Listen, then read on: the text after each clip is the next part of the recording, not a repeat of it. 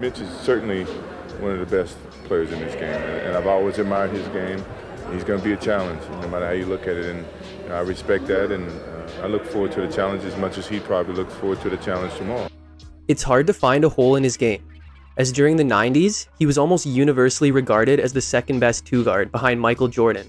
One of the purest shooters and scorers the league had ever seen, he would average at least 22 points per game for the first 10 years of his career, and he took every second he was on the court seriously, giving full effort on both sides of the ball. He started as one third of the exciting yet short lived Run TMC trio, then went on to six straight All Star games, had five All NBA selections, and would be the second highest scoring shooting guard of the 90s, behind only Michael Jordan. But nowadays, you barely hear his name when talking about the top two guards of all time. Part of this being because he was quiet and got it done on the court without flash or flair, but the bigger reason being because he spent his best years in a small market, who also happened to be one of the worst teams at the time in the Sacramento Kings. And in a league that measures greatness by success, his teams didn't have much of that. But he's not to blame as he did everything he could, day in and day out, to will his team to as many wins as possible. And that's why today's episode is on Mitch Richmond, who one could argue is the most underrated player of all time. Let's jog your memory. Mitch Richmond attended Boyd Anderson High School, where football was his first love, and he would be good friends with some pretty good future NFL players, such as Michael Irvin, as well as Benny and Brian Blades. But he would start playing basketball in 10th grade, he reportedly played down low for a lot of his high school career due to his size and the physicality he had developed from football, where he would begin to develop his ability to finish through contact, which served him well his entire career. Unfortunately, Richmond would not receive any scholarship offers and had some academic issues, so after obtaining his high school diploma in the summer, he took the JUCO route as the next step in his basketball career. Richmond would attend Moberly Area Community College in Missouri, which was pretty far from his home of Fort Lauderdale, Florida, and he would reportedly be quite homesick. However, he would still help the team to a two year record of 69 9 for his freshman and sophomore seasons, while continuing to play forward and averaging about 13 points a game. He would develop a close relationship with his head coach, Dana Altman, and when Altman accepted an assistant position with Kansas State going into the 87 season, he brought Richmond along with him. At Kansas State, Richmond would be expected to not only score, but to create with the ball, as he would be moved to shooting guard, which was more appropriate for his size and helped him work on his shooting ability. But he would bring with him his physicality and finishing. The Wildcats had been a mediocre team since the early 80s, posting just one winning season since their last tournament appearance in 1982. But Richmond would finish second on the team in scoring, rebounding, and assists, and the Wildcats would be without Norris Coleman, their best player from the year prior, for the first 12 games of the year, due to admission violations, which were discovered late. But the poised Richmond led the team to a 9 3 record in those 12 games. Then the Wildcats would go 10 7 the rest of the way, as they entered the tournament at 19 and 10, their best record and first tournament appearance since 82. The Wildcats would play Georgia in round 1, and this is where Richmond truly announced himself, as he led the team with 34 points, 11 rebounds, and went 5 for 5 from beyond the arc, as the Wildcats won by 3 points. Kansas State would face top seeded UNLV, led by All American Armen Gilliam in round two, but would get blown out as the entire Kansas team struggled. Richmond would still lead the way with 19 points and 14 rebounds, though. And what is most impressive is that Richmond would explain on the Knuckleheads podcast due to not wanting to redshirt because of a broken wrist, he played the entire season with a rubber cast on his shooting arm. So, Richmond had just put the nation on notice, and for his first season with Kansas State, he averaged about 18.5 points five and a half rebounds, and two and a half assists per game. Coleman left for the NBA, so it was Richmond's team going into his senior season, and he would be the team's leading scorer by over 10 points per game. Again, be second in rebounds and assists, all while shooting over 51%. He led the Wildcats to an overall record of 25 and 9, which included a win versus number 3 ranked Oklahoma. The 1988 season was also highlighted by the Sunflower Showdown rivalry between Kansas, led by Danny Manning, and Kansas State, as they would trade wins throughout the year, as Richmond scored 35 to win the first matchup on January 30th in Kansas, ending their 55 game home winning streak. But then the Wildcats would lose by one at home in the rematch on February 18th. Kansas State would then beat Kansas in the Big Eight tournament to advance to the championship game, eventually losing to Oklahoma. The NCAA tournament would begin with Kansas State beating LaSalle, who were led by Lionel Simmons, a future teammate of Richmond's, as Richmond put up a game high 30 on nearly 53% shooting and 9 assists. Richmond didn't have the same output against DePaul in round 2, finishing with 19 points on about 43% shooting. But the Wildcats were still able to advance to a Sweet 16 matchup versus one seeded Purdue. And Richmond would put up a game high 27 points and 11 rebounds in a three point upset of Purdue. The Elite Eight was the final installment of the 88 Sunflower Showdown, but it would end in defeat as Richmond went cold, finishing with 11 points on 4 of 14 from the field and 1 of 5 from 3, along with 6 turnovers, ending the Wildcats season and Richmond's college career. But for his senior season, he would average about 22.5 points, 6.5 rebounds, and 3.5 assists per game, while being named consensus second team All American. Richmond would suit up for the US national team in the Seoul Summer Olympics, where he would put up about 9 points per game for the bronze medal winning 1988 team. For the fifth pick in the draft, the Golden State Warriors select Mitch Richmond of Kansas State. Richmond made his NBA case and would up his stock more in the NBA Summer League tournament for prospects, eventually being selected fifth overall by the Golden State Warriors, who were coming off a 20 and 62 season, but had one of the league's budding stars in Chris Mullin, who Richmond was now going to pair with on the other wing. The Warriors would also hire Don Nelson to coach the team for Richmond's rookie season. And behind Nelson's fast paced, run and gun offense, the Warriors went from the 14th ranked offense in 88 to the 4th ranked offense in 89. Their defense was dead last, but their defense was second last the year prior anyway. The Warriors would try to make up for this lack of defense as they had acquired Manute Bol from the Bullets in the offseason, and he would go on to average a league leading 4.3 blocks per game. Mullin was the team's star, as he led the team in scoring and would finish as the league's fifth leading scorer.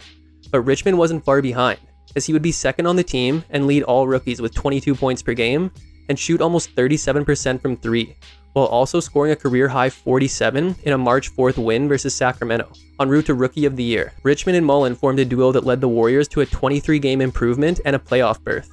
The Warriors would shock the 51 31 Jazz in round 1 with a sweep, as they survived incredible performances from Utah's Malone and Stockton duo.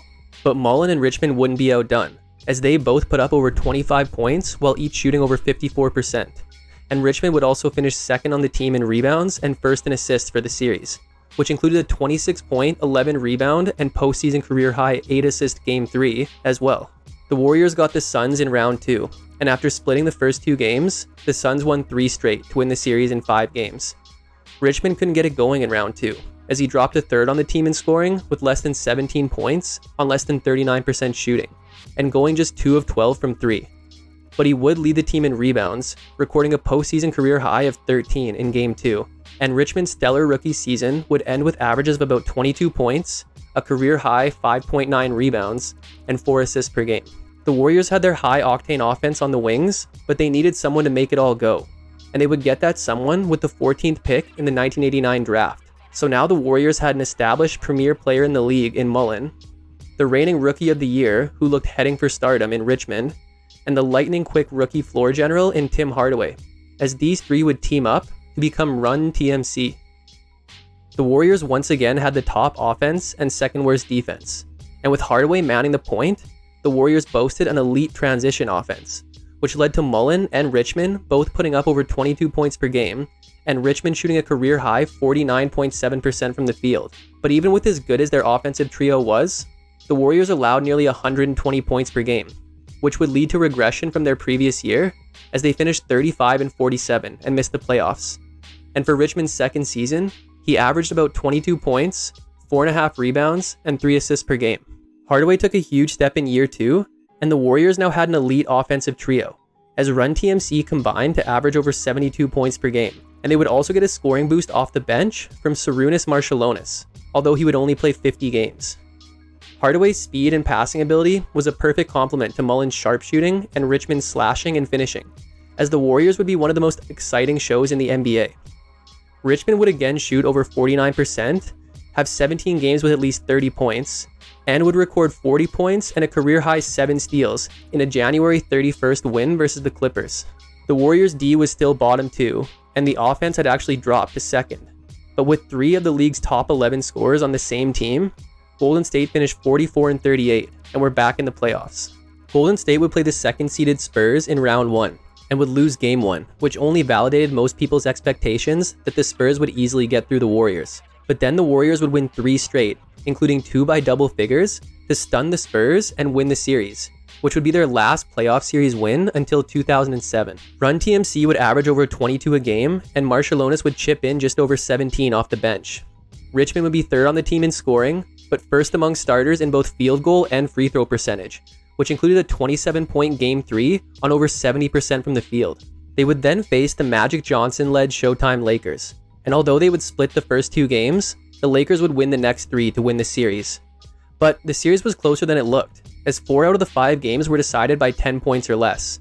And Mullin would also miss game one with the knee injury. Run TMC continued to score well, with Hardaway leading the team and Richmond coming in second, but Richmond's shooting would drop to a still respectable 47.6%. However, he would go just 3 of 14 from 3. And even though they lost, Run TMC looked like they were going to be a force for years, and Richmond's third season ended with averages of about 23 points, 6 rebounds, and 3 assists per game. But on the first day of the Warriors' 92 season, Richmond, along with Les Jepsen and a second round pick, was traded to the Sacramento Kings for their top draft choice, Billy Owens, out of Syracuse. Owens was a stud in college, and Nelson really liked his versatility in being able to play the 2 through 4, as well as his ability to make the Warriors bigger. But it left fans upset and scratching their heads, as the Warriors really looked like they had something special, and after getting a taste, it was taken away. And Richmond was also hurt by this, as not only was he leaving the only team he knew, but he had developed great friendships with Mullin and Hardaway. Richmond arrived in Sacramento on November 1st, and on day one, he knew he was in a bad situation, as his new teammate would greet him with a less than encouraging statement. The next night, they would play Richmond's old team. However, Richmond wouldn't suit up for his first game until November 5th, so he was watching from the sidelines to see what his new team was all about. And they definitely didn't show him much. And then Richmond would be even more shocked when the team would have two days off after such an embarrassing loss. Richmond was instantly touted as the star of the team, but there were some promising pieces alongside him, like forwards Wayman Tisdale and a second year Lionel Simmons, who had all the potential in the world until injuries derailed his career much too soon. Richmond would lead the team in scoring in year four, playing 80 games and putting up a career high in assists, while scoring double figures in all but two games. The Kings also had a bottom ranked defense, but unlike his time in Golden State, they finished with the middle of the pack offense, and in turn finished 29 and 53 and missed the playoffs, which would unfortunately be a common theme during Richmond's time in Sacramento. But Richmond would end the year as the ninth leading scorer in the NBA, with averages of about 22.5 points, 4 rebounds, and 5 assists per game. After having two different coaches throughout the season for his first year in Sacramento, the Kings hired Gary St. Jean, who would be head coach for the majority of Richmond's tenure with the Kings. Richmond came out strong in 1993 and was the team's leading scorer, forming a good duo with Lionel Simmons.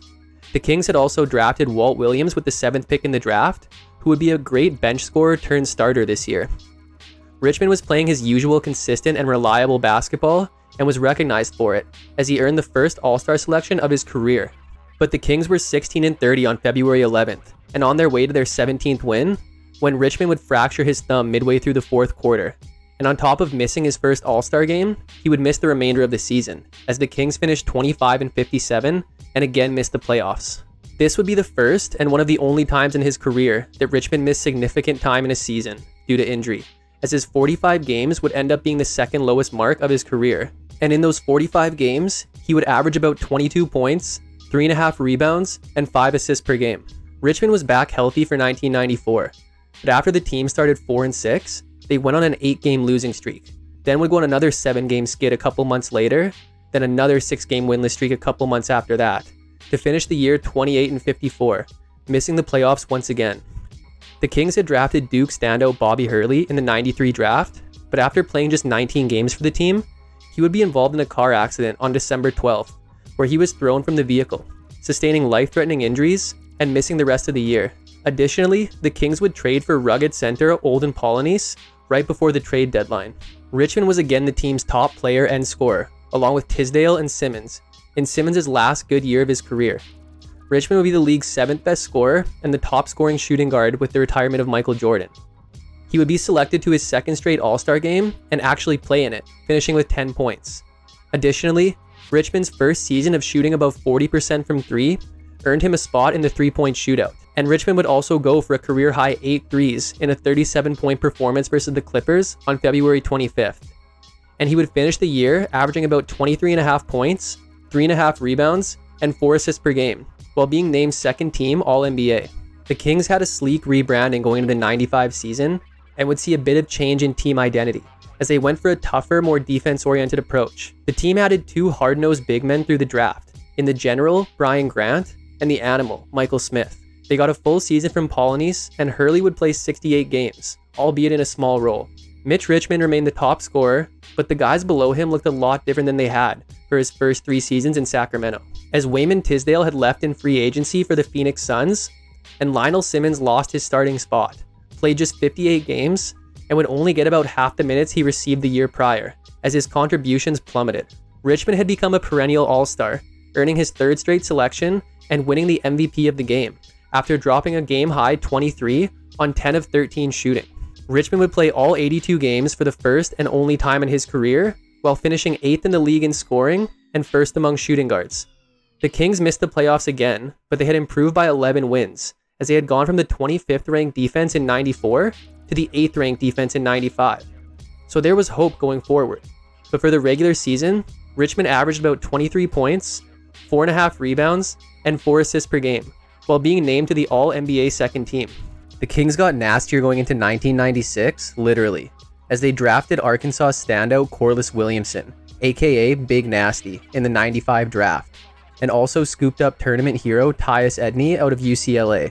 Richmond would be reunited with one of his Warriors running mates as the Kings traded for Sarunas Marciulionis prior to the season. He would only play 53 games, but also be the only bench player to average double figures. And if you're wondering how the Richmond trade worked out for Golden State, Billy Owens played three solid years for the Warriors before being traded to Miami for the 95 season. But then, in a full circle moment, Owens was traded back to Sacramento at the trade deadline this season, allowing Richmond to play with the man he was traded for. But this trade did involve the Kings giving up their second leading scorer at the time in Walt Williams. Richmond earned his fourth straight All Star selection, shot a career high 43.7% from three, and was a top 10 scorer in the league and would finish second among shooting guards, behind Michael Jordan. Richmond would also tie his career high with 47 points in a December 15th win versus Houston. The Kings had the 14th ranked offense and a defense that had regressed to 20th in the league, and would finish with the same record as last year at 39 and 43. But this was good enough to squeak into the playoffs as the 8th seed, where it would be a David and Goliath matchup versus the 64 and 18 Seattle Supersonics. No one expected the Kings to win, but it was an accomplishment in itself that they didn't get swept, as after dropping game one, Richmond would play 48 minutes, scoring his postseason career high of 37 on 59% shooting to will the Kings to a Game 2 win, their first playoff win since they relocated to Sacramento. Richmond would play 48 minutes the next game, scoring 24, but then just 11 minutes, scoring 5 points in the Game 4 loss that ended the series and their season. Richmond was the team's top scorer but would shoot just 11 of 32 outside of his Game 2 performance. And for the regular season, he averaged about 23 points, 3.5 rebounds, and 3 assists per game, while being named third team All NBA. Richmond would get a taste of winning over the summer, as he was a member of Dream Team 3 in the 1996 Atlanta Summer Olympics, averaging close to 10 points as Team USA took home the gold medal. Richmond would have arguably his finest season in 1997, as he was a top 5 scorer in the league, Additionally, he would drop 32 and a career high 13 assists versus Vancouver on January 11th, as well as 35 and a career high 13 rebounds versus Denver on February 1st. The Kings brought back virtually the same team and would get a full season of Billy Owens along with newly acquired shooting guard Mahmoud Abdul Rauf. But the Kings would start 28 and 39 before Gary St. Jean was fired and replaced with Eddie Jordan, who couldn't save the Kings, as they went 6 and 9 the rest of the way to finish 34 and 48 and miss the playoffs. Richmond received his fifth straight All Star selection and the third second team All NBA selection of his career, but he was growing unhappy as he wasn't getting any younger and wanted an opportunity to win, as he was at a point where he would welcome a trade. But for his regular season, he averaged a career high 25.9 points, around 4 rebounds, and 4 assists per game. The 1998 season brought more steps in the wrong direction for Sacramento. The team had a respectable 24 and 29 record on February 17th but would then go 3 and 26 the rest of the way to finish 27 and 55, again missing the playoffs. Richmond was the team's leading scorer and again was fourth leading scorer in the NBA, and would earn his sixth and final All Star selection of his career. There was also hope for Richmond this season, as Miami's president and head coach Pat Riley was actively trying to trade for Richmond up until the trade deadline, as this trade would have reunited Richmond with his run TMC point guard and star center Alonzo Mourning. Riley reportedly offered Jamal Mashburn and Isaac Austin for Richmond, but it is unsure whether the Kings didn't deem this enough of a return or if Riley felt that Richmond, at 32 years old, wasn't worth it for his age. Regardless of why it never materialized, it would have been interesting to see a Heat team coming off an Eastern Conference Finals appearance had one of the top players in the game to challenge Michael Jordan and the Bulls. But Richmond's 10th season ended in Sacramento, with him averaging about 23 points, 3.5 rebounds, and 4 assists per game. But Richmond would soon get his wish, as during the playoffs, he and Otis Thorpe were traded to the Washington Wizards for Chris Webber. But even though Richmond got out of a losing situation, he didn't exactly go to a contender, as Washington was coming off their first playoff appearance and winning season in over a decade, with a big reason for that being Webber's play, who was now being replaced by an aging Richmond.